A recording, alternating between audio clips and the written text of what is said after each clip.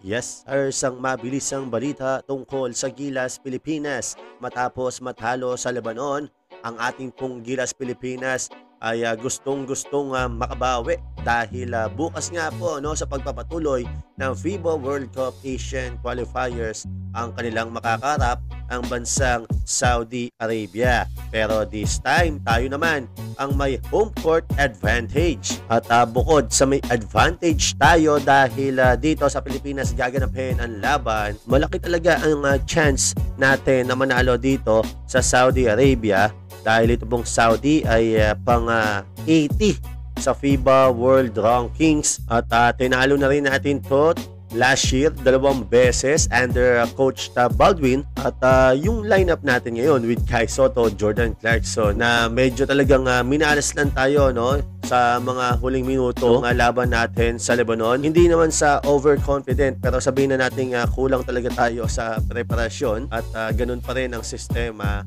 malaki ang tsansa na manalo ang Gilas Pilipinas dito sa Lebanon. At pinag-uusapan na lang din naman natin yung uh, sistema at yung uh, preparation, learning experience. Ito pong isang uh, viral na pare ay uh, napasama sa kanyang uh, homily at uh, viral na naman dito sa Philippine Basketball yung kanyang mga sinabi dito sa ating Gilas Pilipinas. Ito, no, panoorin natin mga sir. Itataloy na maraming grasya. Sige nga.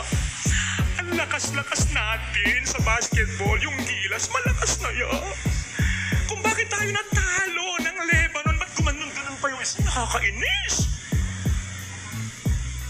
Bakit tayo natalo? Turnovers. Maraming turnovers. Bakit maraming turnovers? Hindi magkakakilala. At bakit?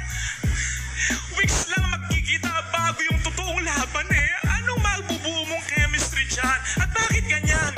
Pride ng mga ball clubs. Pride ng bawat players. Teka, kita ko ang mahalaga eh. Yung team namin ang mahalaga. Dapat mag-champion kami. Dapat Walang nagsasakripisyo.